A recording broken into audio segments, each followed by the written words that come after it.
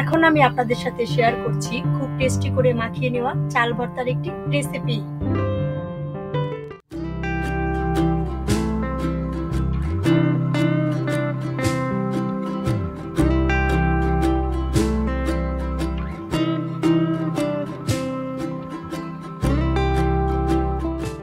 একটি প্লেটে নিয়ে নিচ্ছি কিছুটা কুচি করে রাখা পেঁয়াজ। দিয়ে দিচ্ছি কুচি করে রাখা কাঁচামরিচ। এর সাথে দিয়ে দিচ্ছি কুচি করে রাখা ধনে পাতা। দিয়ে দিচ্ছি টেস্ট অনুযায়ী লবণ। কুচি করে রাখা পেঁয়াজ, কাঁচামরিচ, কুচি করে রাখা ধনে পাতা আর লবণ দিয়ে খুব ভালো করে হাত দিয়ে মেখে নিচ্ছি।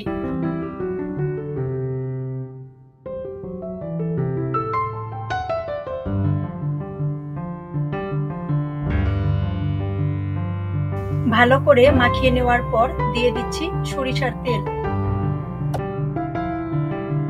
সরিষার তেল দেওয়ার পর আরেক স্টেপ খুব ভালো করে মাখিয়ে নিচ্ছি।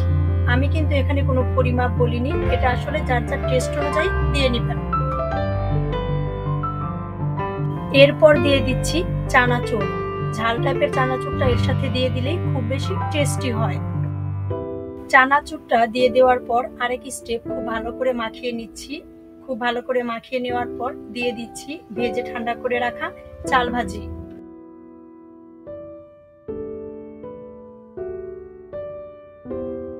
চাল ভাজিটা দিয়ে দেওয়ার পর সবকিছুর সাথে খুবই ভালো করে মাখিয়ে নিচ্ছি।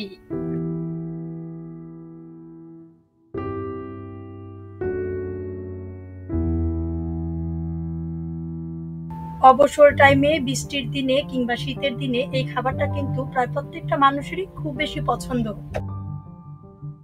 ভিডিওটি দেখে ভালো লাগলে লাইক করবেন কমেন্টস করবেন আর সাবস্ক্রাইব করে অবশ্যই আমাদের চ্যানেলের সাথেই থাকবেন।